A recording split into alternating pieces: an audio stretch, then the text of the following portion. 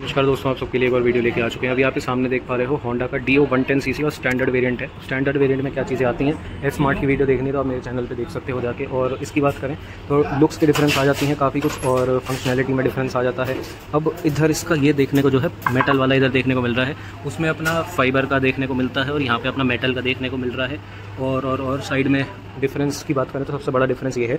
उसमें अपना S smart में स्मार्ट की आ जाती है और एक सबसे बड़ा डिफरेंस जो है वो ये है। उसके अंदर भाई आपको पूरे डिजिटल स्क्रीन देखने को मिलती है और इसके अंदर आपको एनालॉग सिस्टम देखने को मिल जाता है। किल स्विच आपको देखने को मिल जाएगा फास्ट स्विच आपको देखने को मिल जाएगा। एक और डिफरेंस जो है वो है इसमें लाइट्स का। इसमें हेलोजन लाइट्स आपको देखने को मिलेंगी। एच स्मार्ट में आपको एलईडी लाइट्स देखने को मिलेंगी और इंडिकेटर तो मिल ही जाते हैं यार। और फ्यूल पंप तो सब में आता ही है।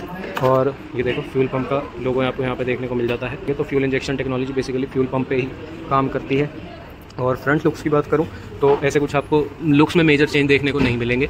इधर बस ये है कि यहाँ पे इस वाले उसमें स्टैंडर्ड में, यहाँ पे मैट फिनिश आपको देखने को मिलती है और एच स्मार्ट में सेंटर में आपको मैट फिनिश देखने को मिलेगी और साइड में अपना मेन कलर देखने को मिलेगा, जो कि मैट में ही है।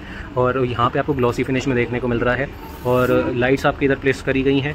इधर आपका स्टील रिम दिया गया है, उसमें आपको एलॉयस दिए जाते हैं और डिस्क ब्रेक दोनों में ही नहीं दी जाती है। टेलीस्कोपिक सस्पेंशन आपको दोनों में देखने को मिलते हैं। टेलीस्कोपिक को देखो स्टैंडर्ड कर दिए गए हैं, हर स्कूटर में आप टेलीस्कोपिक ही आ रहा है ज़्यादातर। और बाकी साइड की बात करें तो साइड में आपको ऐसा कुछ लोग देखने को मिलता है होंडा की ब्रांडिंग आ जाती है।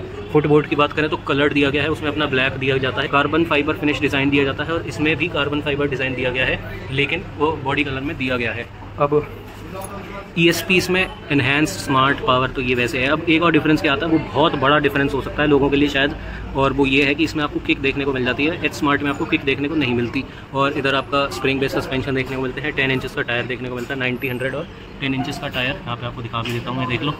और आगे अपना 12 इंचेस का टायर आपको देखने को मिलता है। 90 90 12 आपको आगे देखने को मिलता है, जो कि स्टील रिम है। और बाकी अगर बात करें बूट की तो बूट इसमें आप यहाँ पे ओपन कर सकते हो। इस पोजीशन पे लाके यहाँ पे अपना अंडर सीट स्टोरेज आप ओपन कर सकते हो। यहाँ पे ब्लैक फिनिश आपको कार्बन फाइबर डिज़ाइन दिया गया है। इधर आपका डिसेंट स्पेस देखने को मिल जाती है। छोटा वाला फुल फेस हेलमेट आ जाएगा आपको इजीली और ई ट्वेंटी पेट्रोल सपोर्ट करता है, जो कि ट्वेंटी परसेंट इथेनॉल आप इसमें डाल सकते हो। स्टोरेज इधर आपको देखने को मिल जाएँगी साइड में। इधर बड़ी स्टोरेज आपको देखने को मिलती है। उधर छोटी स्टोरेज देखने को मिलती है। इसमें आप बहुत छोटी कोई चीज़ रख सकते हो। और लेगरूम की बात करें तो लेग रूम अच्छा देखने को मिल जाता है। सीट कंफर्ट भी अच्छा देखने को आपको मिल जाएगा। इसमें बास्केट पता नहीं आती है, नहीं, मैं श्योर नहीं हूँ। एक्टिवा में तो देखो बहुत टाइम से मैं देखता आया हूँ, आती है उसमें तो। अब ये स्पोर्टी स्कूटर है, पता नहीं इसकी बास्केट बनाई गई है, नहीं। खैर, वो आप पता कर सकते हो, लेकिन बास्केट के दम पे स्कूटर मत लेना कि बास्केट लगवा लेंगे। स्कूटर वो स्कूटर के तौर पर लेना भाई, आप लोग अगर आप लेना चाह रहे हो। सिर्फ़ स्कूटर के तौर पर लेना और कुछ नहीं, ठीक है? तो बाकी वीडियो अगर पसंद आए तो आप वीडियो को लाइक शेयर सब्सक्राइब कर देना। और होंडा की ड्यूरेबिलिटी की बात करें तो वो तो देखो आप जानते हो, बहुत टाइम से चला आ रहे हैं भाई होंडा के स्कूटर तो आप ड्यूरेबिलिटी का फैक्टर तो छोड़ ही लो। ड्यूरेबिलिटी में आपको एक क्लास मिलेगी और बाकी ये चीज़ अगर आप देखना चाहते हो कि की आपको वो चाहिए फीचर्स आप देख रहे हो तो आप इसका टॉप वेरिएंट ले सकते हो डिस्क ब्रेक वगैरह अगर आप देख रहे हो। डिस्क ब्रेक खैर 125 वाली सीसी में आती है और इसमें आपको नॉर्मल देखने को मिलेगा ड्रम ब्रेक्स तो खैर ये फंक्शनैलिटी डिजिटल स्क्रीन अगर फीचर अगर आप पसंद करते हो एलईडी आपको चाहिए तो आप ऊपर वाला वेरिएंट ले सकते हो।